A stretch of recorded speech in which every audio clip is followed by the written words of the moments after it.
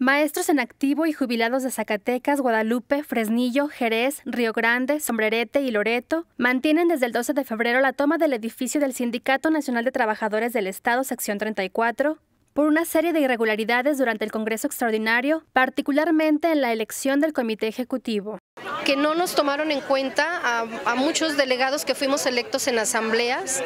eh, inclusive dejaron de instalar las asambleas por falta de quórum. Eh, y, bueno, el evento, el, Congreso Extraordinario se llevó a cabo en Paraíso Cascán los días 7 y 8 de febrero de este año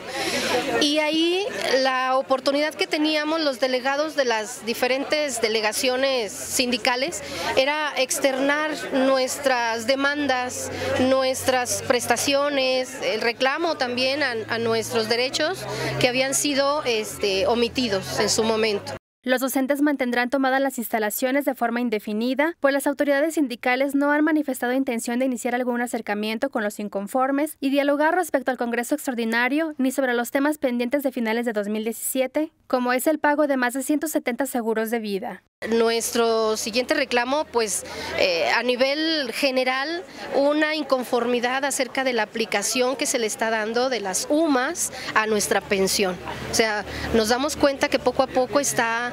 bajando nuestro, nuestra pensión mensual eh, y bueno, ese era uno de nuestros propósitos que tendríamos en ese Congreso extraordinario,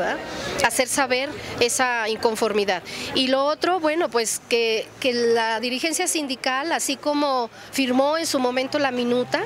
pues exija, ¿verdad? Reclame el pago completo de los seguros de vida a los beneficiarios de los maestros fallecidos. Con imágenes de Aurelio Carrillo para Sistema Informativo CISART, Arazú Tinajero.